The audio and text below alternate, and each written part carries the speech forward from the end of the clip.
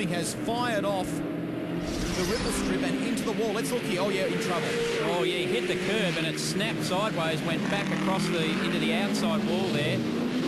Let's have a look. Uh, this is another replay. You can just see there a bit of perhaps what you call overcorrection. It kicked back one way, got the opposite lock on, and it's turned around into the left side. But he's been able to finish there, grab reverse gear and a lap down.